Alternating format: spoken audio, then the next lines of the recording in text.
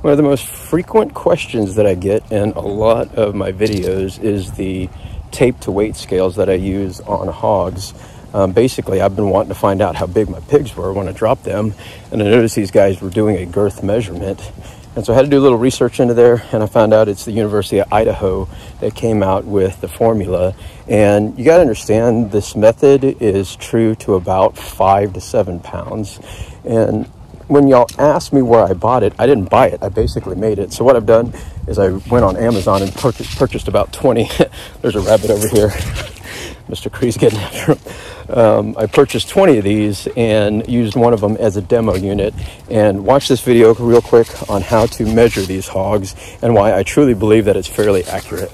Here's the big nasty boar that I shot last night. I'm gonna guess offhand he's probably between 190 and 200 just because I've shot enough of these to know. I'm gonna show you guys the two methods and using my tape to weight scale here.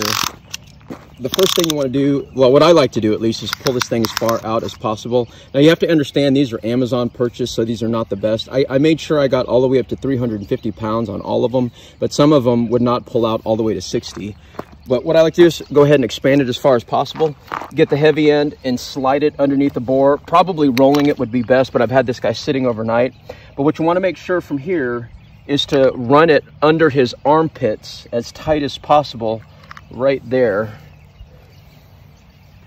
Okay, and you have to run this tight also. You can't have any slack in the tape. I've seen a lot of guys go like this and they'll say, oh, my boar is 225 pounds. You can't do that. It has to be tight.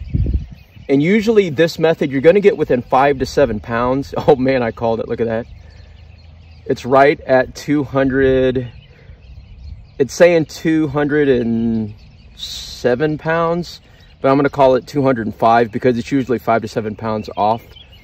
All right, and then the next method, I'm gonna go ahead and zoom out. What you wanna do here, if you wanna use the more scientific method, the way that uh, they do um, at hog or at pig sales, is you need to get these measurements. So the 205 measurement is 40.5.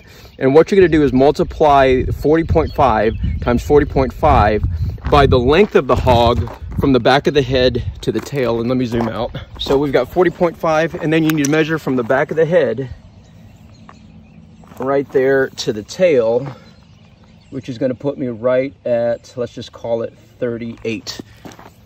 And then you're gonna round that, and then you're gonna use 300 as your consistent. So let me do the math on my phone and you can see what I'm talking about. Step one is to multiply 40.5 times 40.5. Step two is to multiply this big number by 38, which is the length of the hog, and you will come up with this big number. And then step three is to multiply it by the standard of 300, which will give you this weight at exactly 207 pounds. And here you go. I've got exactly 20 of these things, including the one that I demoed. I have this one out as an example. I want to show you real quickly. I tried as much as possible to write the number or the weight right on the line scale. But if you noticed on this one, I knew that it was going to be too dark to see. Make sure you're using the actual 25 as the measuring scale as it goes up uh, throughout that chart. So I've got 20 of these. I'm going to sell this one on discount because it is been used. There's no blood on it, but I'll sell that one for seven bucks. I'm going to sell these for $10 a pop. I've got both the Zelle and Venmo uh, that you can use. If you will comment what color you want, below. And if you notice somebody else has claimed that color, don't ask for it. But um, I'm going to be mailing these out hopefully the week of Thanksgiving on that Tuesday. I'm heading to Boerne, Texas this week, so I won't be able to get it out in the mail. But comment below, $10. Email me at this information that I'm providing right here, and I will get you all the information how to get the money to me, and then I will drop this in the mail next Tuesday, and you guys can start measuring yo hogs. Stay tuned for my Boerne, Boerne, Boerne adventure. I also want to apologize if there's golden retriever hair in your package. I can't control his summer shedding right now.